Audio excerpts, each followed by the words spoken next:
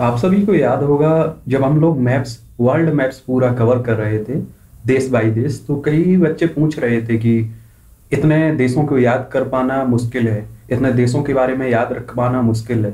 तो मैंने उस वक्त भी कहा था कि देखिए, ये सही बात है कि हर देश को याद कर पाना, उसके बारे में जो महत्वपूर्ण पॉइंट है, उन्हें याद कर पाना मुश्किल है, सबके लिए मुश्किल है, आपके लिए नहीं, सबके लिए मुश्किल है। तो मैंने एक शब्द बोला था कि जो जिस समय आप लोग पेपर देने जा रहे हो, उस साल में जो देश याद रहा मतलब जो देश चर्चा में रहे उस समय तो उन्हीं देशों के बारे में आपको महत्वपूर्ण पॉइंट भी याद रखना है, उन उन देशों की मैप्स में आपको स्थिति भी जान लेनी है। तो अभी आपने देखा है कि लेबनान में किस तरह से भयंकर विस्फोट हुआ, उसके बाद देखिया, देखा कि वहाँ, आपने देखा होगा कि भारी प्रदर्शन हुआ इस तरह का। उसके बाद राजनीति के चलते इस तरह प्रधानमंत्री हसन दियाब साहब हैं।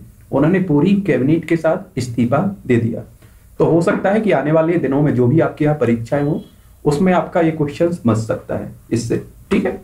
और वैसे आपके मैप्स पूरा वर्ल्ड मैप्स पूरा कवर कर चुके हैं। उसमें भारत भी कवर किया हुआ है। और आपका पूरी बुक्स कवर की हुई है। तो आप उससे जाकर देख सकते हैं। मैप के नाम से आपकी प्लेलिस्ट सूची बनी हुई है पूरी। और बहुत अच्छे तरह से समझाया गया है। मैप्स का सहारा लेकर। अभी लेबनान की अगर हम लोग बात करें, कहाँ है मैप्स में? सबसे पहले चलते हैं हम अपनों। देखते हैं अपना ये हमारी प्यारी पृथ्वी है। इसमें हम देखेंगे ये हमारा प्यारा भारत है। एशिया में हमारा प्यारा भारत है।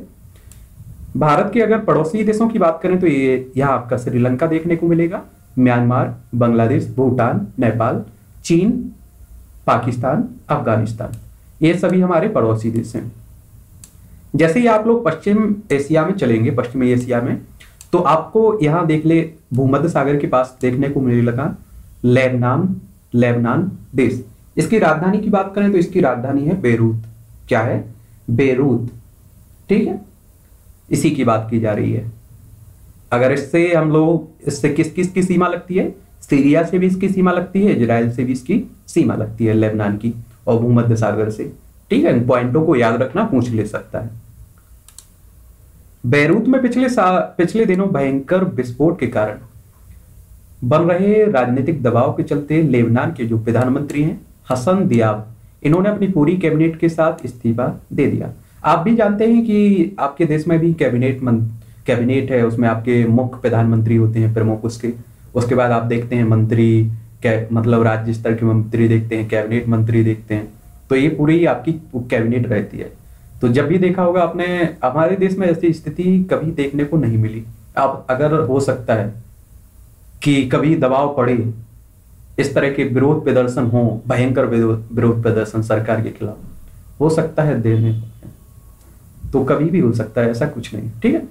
लेबनान की राजधानी बेरोत के बंदरगाह में रखे 2750 यानी कि 2750 टन अमोनियम नाइट्रेट में विस्फोट होने से 150 से भी अधिक लोगों की जान चली गई और हज़ारों की संख्या में लोग घायल हुए।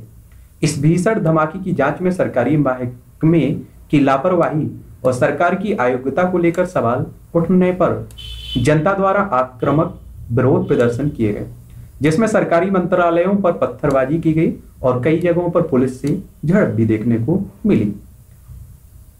लेबनान के बारे में अगर बात करें तो लेबनान पश्चिम एशिया में स्थित एक देश है, जिसे रिपब्लिक ऑफ़ लेबनान भी कहते हैं।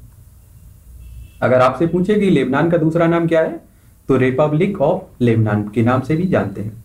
इसकी राजधानी बेरूत है। यहाँ की कुल आबादी लगभग आपकी अड़सठ लाख है। कितनी? अड़सठ दशमलव छह लाख। लगभग आपकी अड़सठ लाख। समझ रहे हैं आप लोग? और हमारे देश की जनसंख्या कितनी है? 125 करोड़ मतलब मुझे लगता है कि इस समय तक। ये 2011 की जनगणना के अनुसार अगर हम बात करें तो एक से इक्कीस करोड़ जनसंख्या है।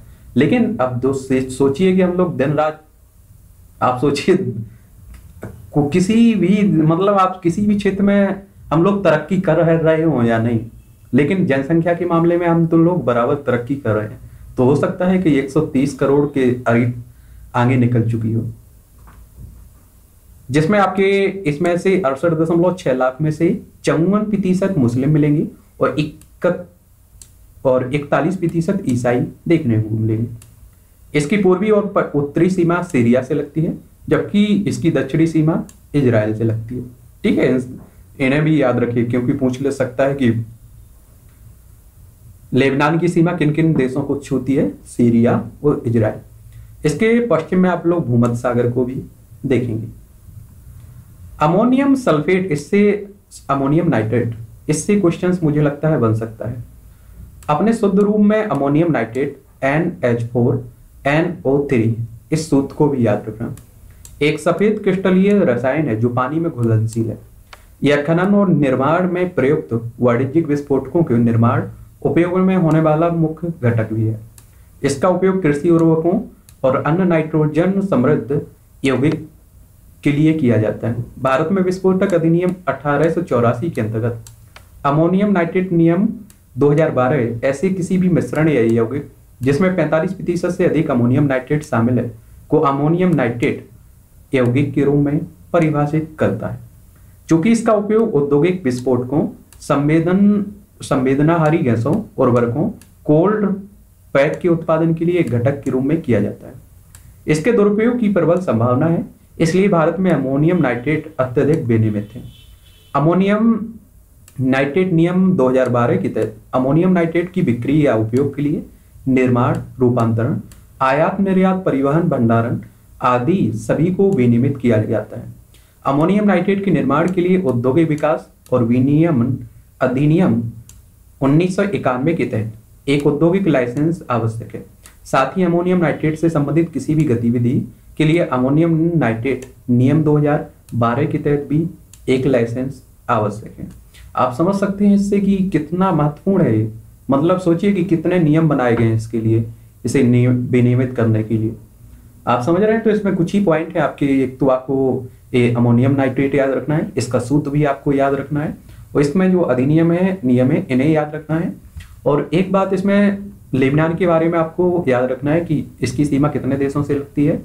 जनसंख्या भी याद रख लीजिए। इसे, इसका दूसरा नाम रिपब्लिक ऑफ़ लेबनान है। इस पर भी बात, इसे भी रखिए, याद, ठीक है? इतना ही आपसे क्वेश्चंस बन सकते हैं। इसकी राजधानी भी पूछ सकता है। वनडे एग्ज़ाम में आपका पूछ लेगा कि लेबनान की राजधानी क्या है।